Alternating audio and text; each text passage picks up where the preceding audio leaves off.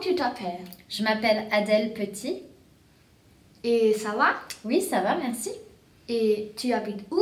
J'habite en France, au nord-ouest, à près de Nantes.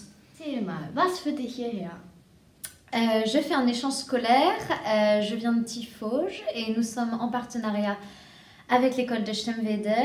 Euh, je suis venue avec une collègue et sept élèves qui ont chacune un correspondant.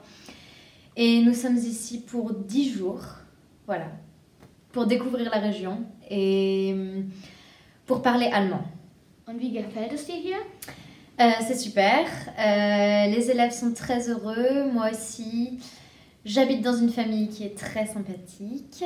Et euh, on a visité Hambourg, Brême, et puis euh, on a assisté à quelques cours. Euh, C'était très instructif, euh, on a été très bien.